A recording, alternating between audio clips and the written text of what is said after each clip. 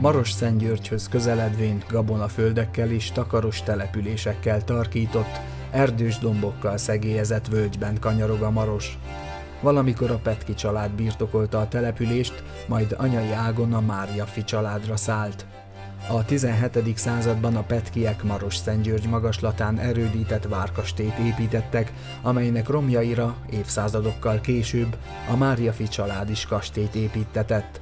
Az új kastély 1870 körül épült kétszintesnek, díszes megjelenésű homlokzatokkal, ám alapként a régi kastély köveit használták.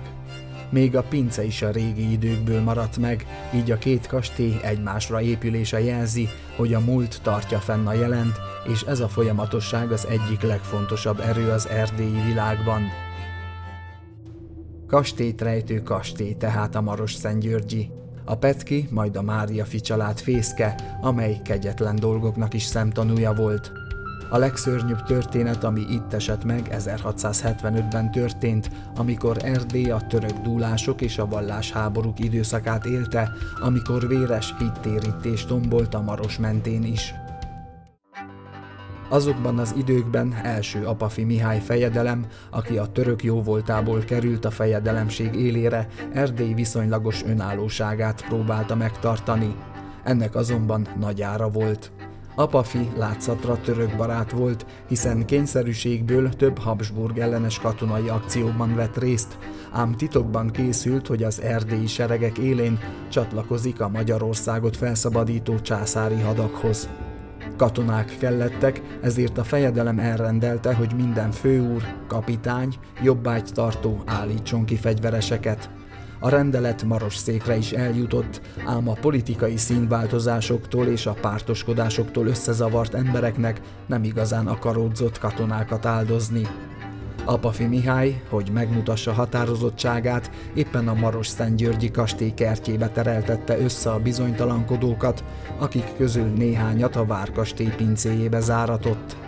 A fejedelem dühét Tóth Mihály főúr szenvedte el leginkább, aki megtagadta a kért száz katona kiállítását.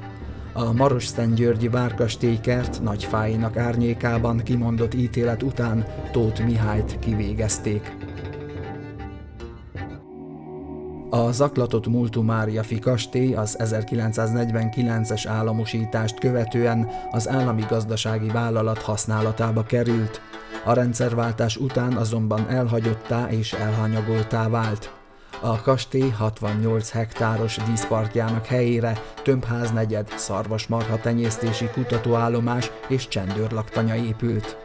Jelenleg a kastély teljes felújítása zajlik, ugyanis a helyi önkormányzat megvásárolta az örökösöktől az épületet, amelybe a tervek szerint kulturális és turisztikai központot, falumúzeumot és könyvtárt rendeznek be. Ha minden jól megy, nem sokára felújított főhomlokzat néz majd a Marosra, amely évszázadok óta figyeli a Mária Fi kastély történetét.